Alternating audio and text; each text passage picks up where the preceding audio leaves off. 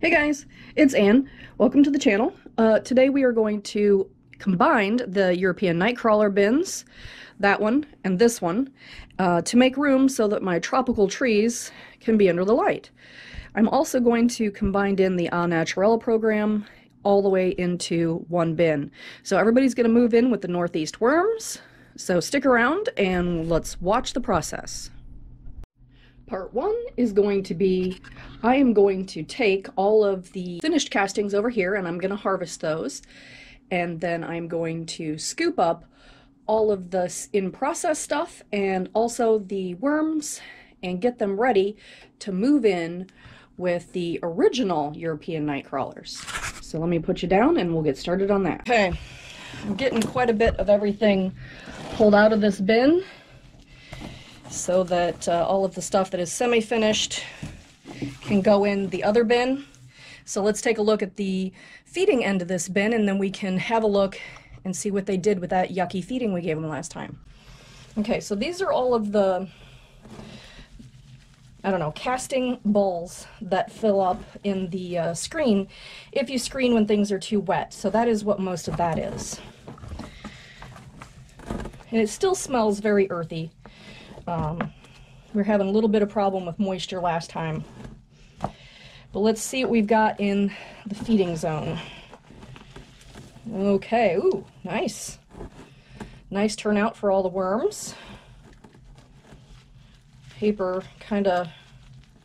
That was that tortillas that I told you that I was pretty sure we were going to have a problem with, even though I added a great deal of moisture to. So as I'm flipping things over, it's been four weeks uh, since we fed, and they've done a really good job on the paper. The food looks to be gone. I think this is uh, probably lemongrass. We harvested our lemongrass so that we could move it into the basement for the year. I tried overwintering it last year and it didn't work, but my son has a similarly good green thumb, so he's going to try doing it this year. So, it looks like we've got a lot of worms here this should, you know, work out really well. Mmm, I can smell that lemongrass. That's nice. It's one of those, um, it doesn't smell like lemons per se, but it definitely has a really great citrusy taste. The worms seem to like it. I mean, it's knocked down quite a bit. There was probably almost three gallons of um, lemongrass tops in there when we uh, put it in here lots of worms, so I'm glad that they, for the most part, migrated out of the finished castings. Right now I have about 15 gallons in a tote that I just sifted off the, uh, the finished side of the wedge. And these guys are going to go live with the uh, OG uh, European night crawlers that I got from Emily, the crazy worm lady. And so these guys are going to get mixed in with a completely different population. So I don't know if uh, worm genetics works that way, but they're going to get a bunch of new friends to play with, if you know what I mean.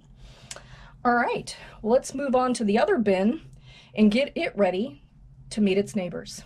All right, here we are at the original European night crawlers, and we are going to harvest this part over here and then keep the remaining part here where hopefully all the worms are so that we can move in their neighbors. All right, let me put you down and we can get started. Okay, just gonna use my one half inch screen here, get rid of the larger parts. All right, as you can see, I have uh, harvested about half of the barrel.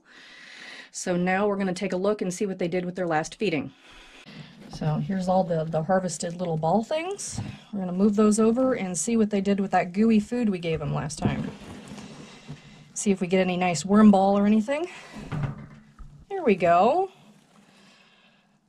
Looks like you can still see some of the tomato skins in there. But even though that that was a really stinky feeding, I don't smell anything right now.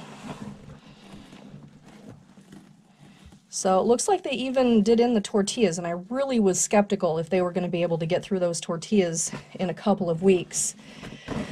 But so far I'm not seeing any of the tortillas.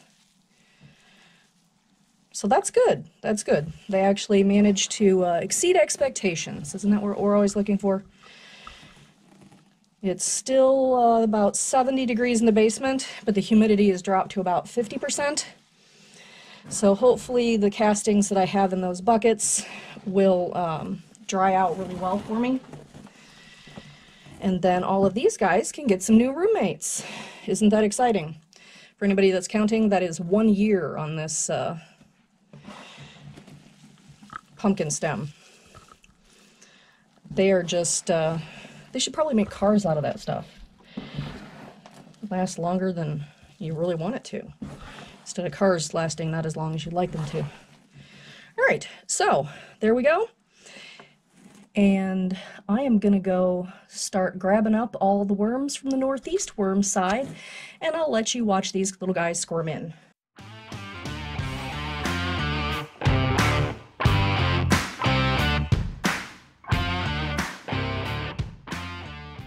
Okay, here we are. We're going to release the worms.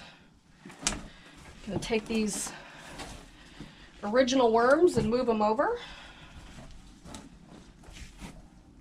Oh, that's a nice worm ball right there. Look at that. That's beautiful. All right.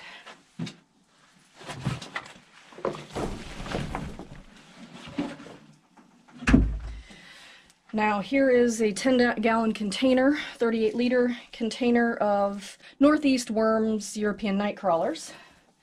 And what I'm going to do right now is I'm going to uh, treat this like it's all unfinished, which for the most part it is. And I'm going to move everybody kind of over so that I can make sure that these guys have enough food and bedding for now what is probably maybe eight pounds of worms. I think the one pound of worms that I got from Gaetano probably have turned into two or three, and I think there was four a year ago on this side, so let's just call it eight. Eight pounds. All right, let me get them some bedding and some food. Okay, camera stopped on me there for a second, but we have given them some lovely slices of unripe pumpkin, courtesy of my brother-in-law. And then we're going to cover them back up with a ton of new bedding so that all of these worms can have wonderful, wonderful area to stretch out in now that there's twice as many worms.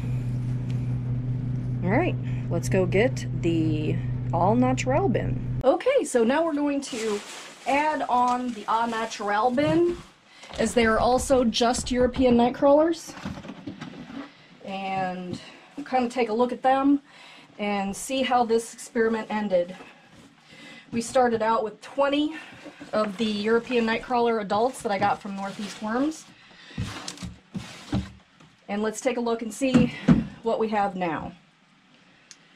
So of course these were only fed leaf matter and things that could be found inside the yard.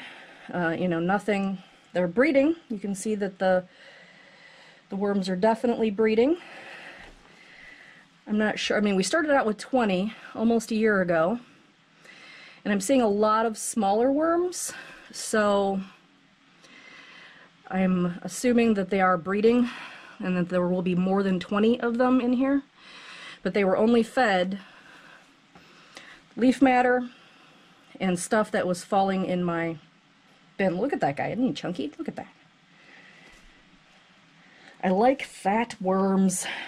Just shows that I'm doing something that they like and that they're choosing to grow their families and all of that stuff.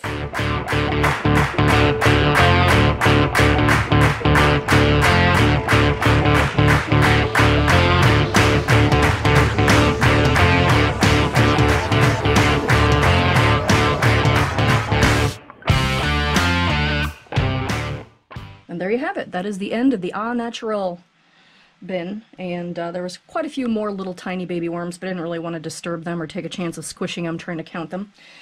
But there you have it. Everybody put what you counted in the comments below.